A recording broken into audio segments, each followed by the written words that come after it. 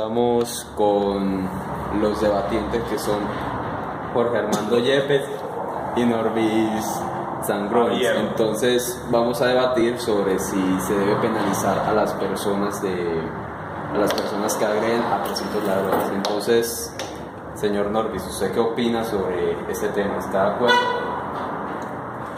Hola, buenas noches, estoy totalmente de acuerdo, porque se deberían respetar los derechos humanos y como dijiste, es un presunto ladrón.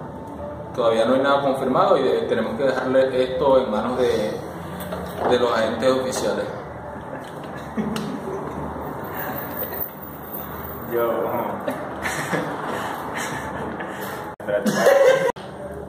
Buenas noches, mi nombre es Jorge Yepes y no estoy de acuerdo que a ellos los, los dejen libres, que los penalicen así, no, hay que darle duro para que aprendan a respetar y, y no hagan esas presuntas, esos presuntos robos, lo que sea. Hay que, como dicen por ahí, hay que aprenderlos uno por porque como ejemplo la policía la policía los coge y se los lleva para el CAI y a las dos horas están nuevo sueltos por ahí haciendo lo mismo. Entonces por eso digo yo que no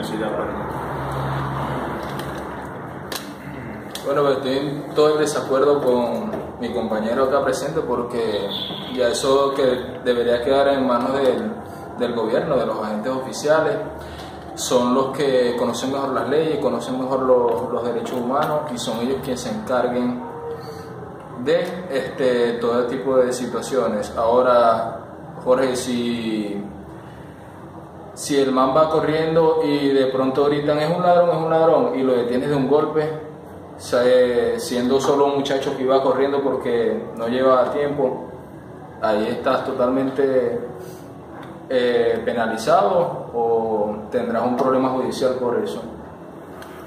No, yo tengo primero que confirmar que sea ladrón. Pues yo no lo voy a pegar así porque. Si yo lo vi robando, si lo, hasta lo percibo y lo duro yo, yo pues me voy. Pero de resto no, pues si va corriendo por ahí, cualquiera dice ladrón, yo no sé si es un amigo que está molestando lo que dice ladrón, pero si yo vi que sale una tienda robando y sale de la casa corriendo, el dueño del negocio, lo que sea, ahí sí colaboro y le doy una patada bien buena. Y si, por ejemplo, este es una persona que tiene algún tipo de necesidad, que está desesperado, que sus hijos están enfermos, que están pasando hambre, necesidades, y solamente le dio por robarse una galleta porque necesita o un pan que necesita alimentar a, a sus hijos, estaría bien que lo golpearan, que lo lincharan, lo apuñalaran, solamente porque es la única opción que él consiguió para hacer eso. Tenemos que recordar que no es un animal, también es un ser humano, tenemos que respetar su derecho humano.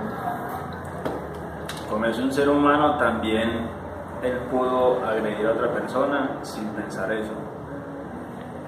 Yo soy con la mentalidad de que si la plata está hecha, uno puede trabajar, sea, no sé, barriendo en las puertas de los negocios y le dan 500 mil pesos.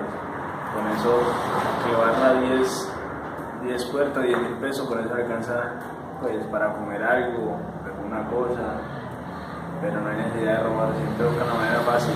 La primera vez roban y les va bien, ya van a ver una manera de salir fácilmente los problemas. Entonces va a ser la segunda, después la tercera algo más grande, la cuarta otro más grande, ya la quinta hasta puede llegar a matar a una persona.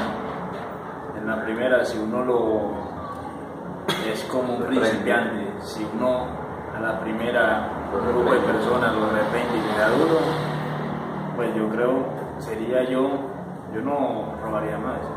Para que me sigan pegando y dando duro por ahí, no. Y ya como para cerrar, este, no pensaría tampoco en que tiene esposa, que tendrá hijos, tendrá mamá, que de pronto quedarán sufriendo o más que eso, eh, quedarán hasta peor porque si él era el que llevaba el pan a la casa o si era el que ayudaba de una u otra forma en lo económico, en lo moral y en lo espiritual en esa familia, cómo quedan ellos, cómo queda la madre, cómo quedan los hijos, cómo queda la esposa. Como decía yo, en la primera vez no hacen nada, la quinta vez puede llegar a matar. Apenas en esa quinta vez me se presenté con, con el hijo mío, con mi mamá, y por mi mamá no dejarse atracar, él le de una puñalada mal dada, la mata, entonces ¿cómo quedo yo? Yo quedo pues un dolor impresionante cuando en la primera vez pude pararlo. Sí, obviamente tiene familia y tiene dolientes, necesidades, pero todas las personas trabajan porque tienen sus necesidades. Yo no creo que el que trabaje, trabaje gratis. Bueno, con esto concluimos todo el debate. No sé si quieran agregar algo más. No, tampoco. Yo qué estoy haciendo por acá. Entonces conclu- concluir- eh, concluimos el debate.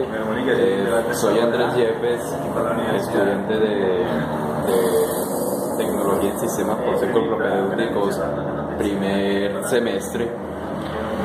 Y esto es el el fin. Muchas gracias. Hasta luego.